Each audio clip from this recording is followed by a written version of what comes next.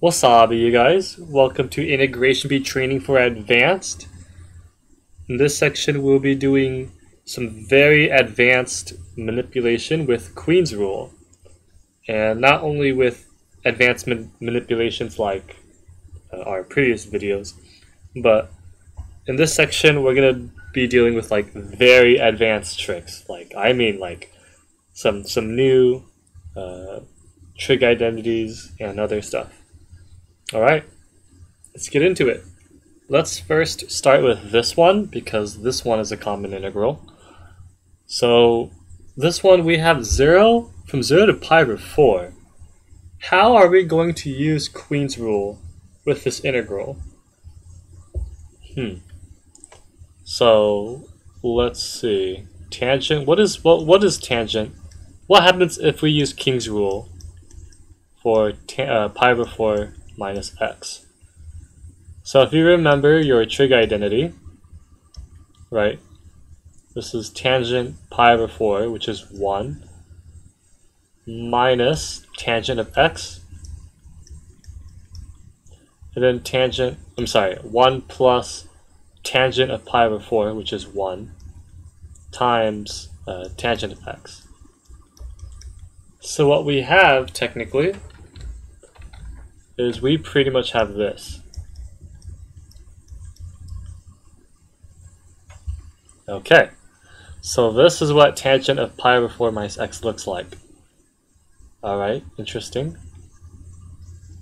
But we have 1 plus tangent of x.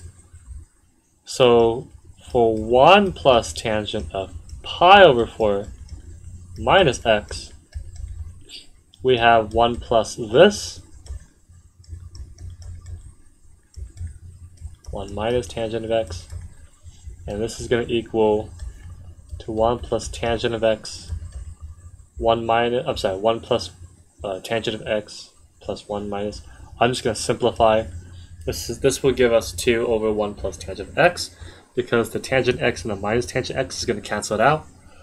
So, when we apply u equal pi over 4 minus x, we're going to get so pi over 4, the ln of 2 minus the ln of 1 plus tangent of x by log rules. Now would you look at that? If this is equal to i, and this portion is equal to i, we technically have i equals 0 pi over 4, ln of 2 minus i, right? That's literally what we have. So then 2y, integrate this, this is just pi over 4, ln of 2. So our, in, our integral is equal to pi over 8 ln of 2. Very tricky. This is very hard to see. It is very hard to see. So I have I had to show you this. I had to show you this. Uh, oops this identity so that you are aware that you can do cool manipulations like this. Okay? Whoa. Now this looks crazy. Alright, don't freak out. Don't freak out. I, I noticed something here, right? 0 pi over 6, and we have pi over 6 minus x. So that tells me, huh, what if we use King's rule or Queen's rule? So let's go ahead. If we apply King's rule, we get pi over 6 minus x. And then, of course, the denominator is still the same thing.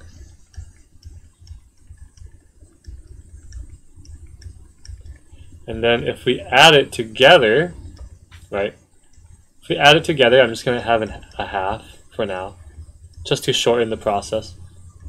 When we add it together, when we add these two integrals together, uh, the x cancels out.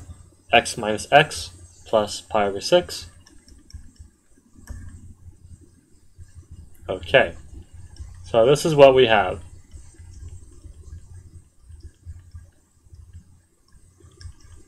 All right, but so now what? What do we what do we do? What do we do now?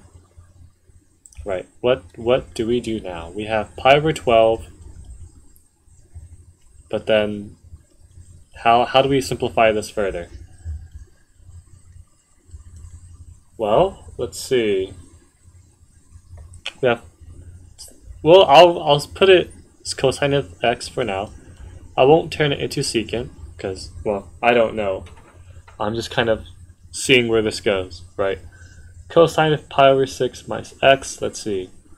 We know our trig identities, right? This would be cosine pi over 6. What is cosine pi over 6? You can draw the circle, uh, you can draw the unit circle if you need to.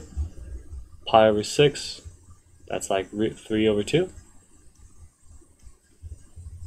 And then cosine of x plus and sine of pi over 6 and sine of x.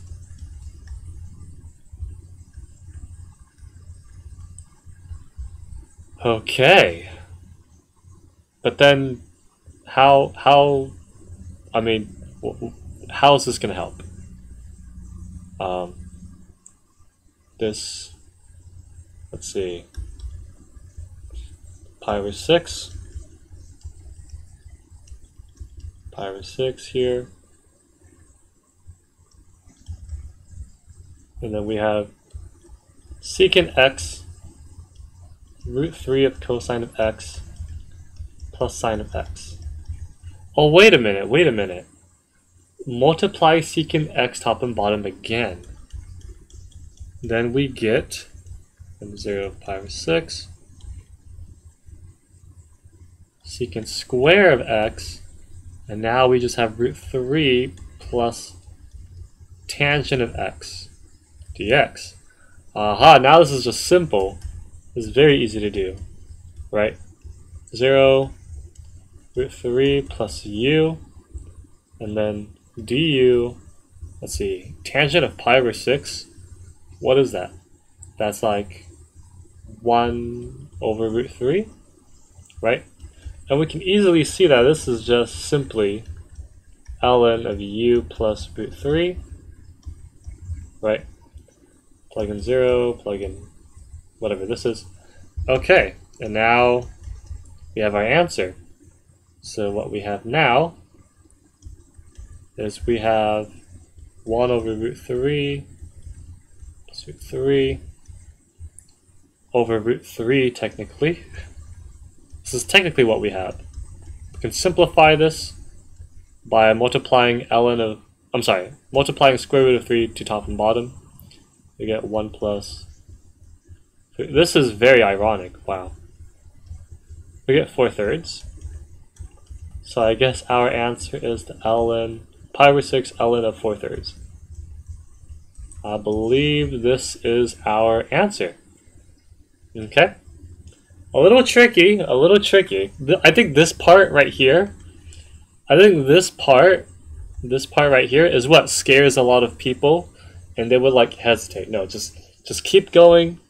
Go with the flow. If you need to, turn this to secant x to kind of change your perspective a little bit. Uh, take this constant out to make it more uh, nicer, right? It makes it helps makes it look nicer so that it doesn't distract you. So uh, yeah, it's a little tricky, but just get comfortable and um, go with the flow. Let's go ahead and do this one. We have zero from zero to pi over two. All right, Queen's rule.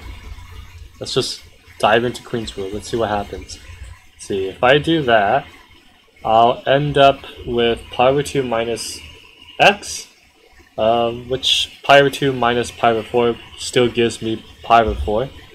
So I'll end up with pi over 4 minus x, but I mean it's in it's inside of an absolute value, so I'll I'll still get the same thing. So I'll just leave it like that. And then of course we have cosine square converted.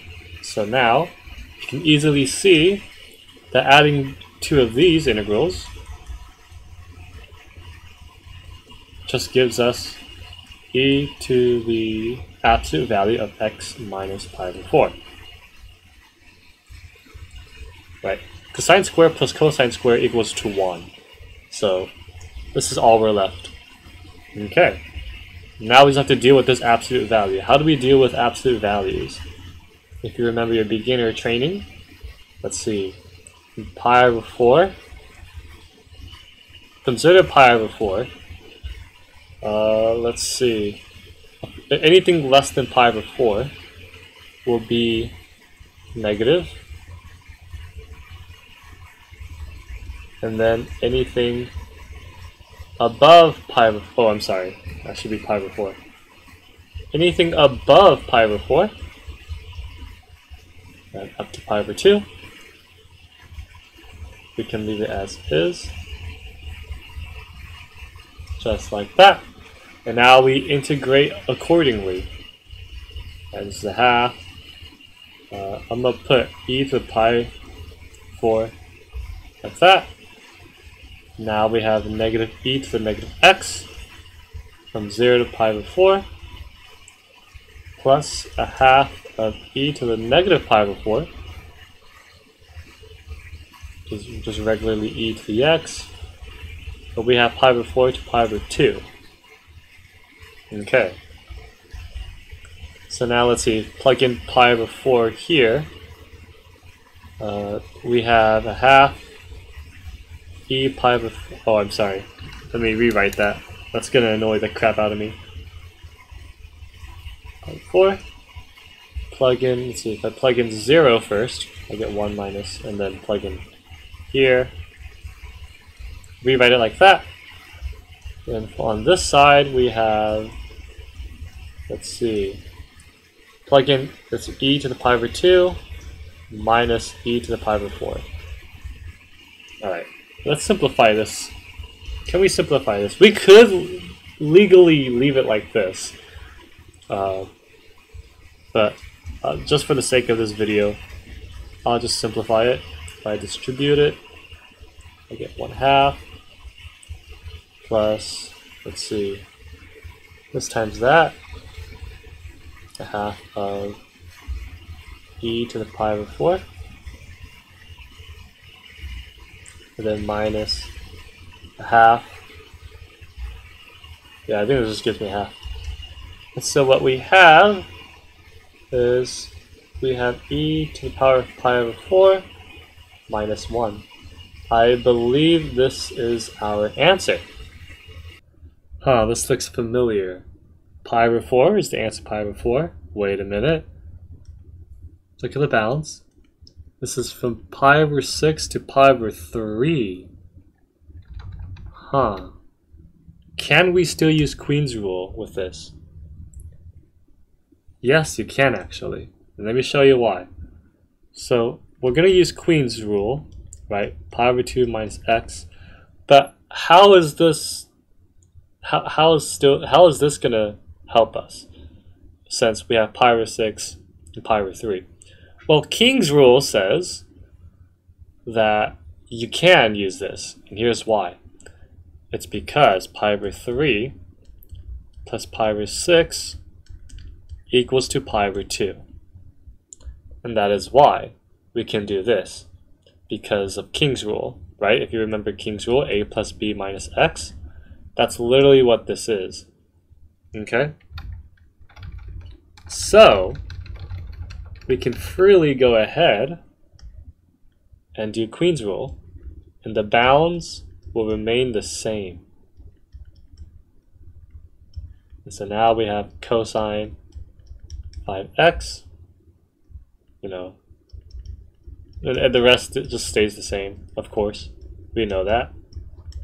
And then when we combine it, right, we get pi over 6, pi over 3, the whole fraction cancels out as we add them together. And now we just have a half of pi over 3 minus pi over 6. And this is equal to, let's see, well, this is 2 pi minus pi, right? This is equal to pi over 12. So it does not equal to pi over 4. It's the same concept, there's just different bounds. That's all it is. Same process, but different bounds. And so because of these different bounds, instead of pi over 4, we get pi over 12. Okay. Oh god, this looks like a very ugly integral. Now, don't freak out. Don't freak out. Just remain calm and just kind of go with the flow. Okay. So, I made this integral, and this is our last integral for this video. And it is very tricky to see. And this just comes with a lot of experimentations. So, okay, cosines and sines, but we have 0 to pi over 4. So, what now? What do we what do we do? Well, let's play around for a little bit. What if we do u equals pi over 4 minus x? Well, let me show you that pi over 4 minus x for cosine. This will equal square root of 2 of cosine of x plus sine of x. Right? That pi over 4 is the 1 over root 2. Okay. Cosine of pi over 4 is equal to sine of pi over 4. They both equal to 1 over root 2, which is why I factored it. Okay. Okay, so we know that, but what about sine? Because we have sine here. For sine, we have 1 over root 2. This would be cosine of x minus sine of x. Right? Sine pi over 4 times cosine of x minus cosine pi over 4 times sine of x. This is what we get. Okay? Alright. So then what that means is that when we do u equal pi over 4 minus x, let's see, for cosine of x, we get we can abbreviate this. So root 2 times cosine of this, or uh, this, this whole thing. Let's abbreviate it. We get cosine plus sine of x plus 1. And then here, we technically, we're technically dealing with this plus this. This plus this, the signs actually cancels out. So what we actually have is root 2 cosine. Ooh! Look at this.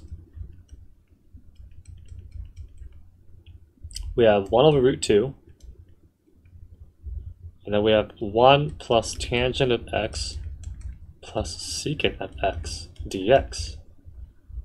Oh, wow. Well, that was easy. It was a lot easier than we thought, right? This is just x plus ln of secant x plus ln of secant of x plus tangent of x. And we just plug in uh, from 0 to pi over 4 here. Let's see, if you plug in zero, everything just becomes zero, so we can just focus on pi over 4. So what we have is 1 over root 2. This is pi over 4 plus the ln of, let's see, secant of pi over 4, that's root 2, plus ln of root 2 plus 1. So what we technically have is pi over 4 root 2 plus 1 over root 2 ln of 2 plus root 2. This is our answer. There you go. Not as bad as we thought, right? This this came out very clean, very nice. So thank goodness for Queen's rule. Okay. All right. And that is it. That is our last integral.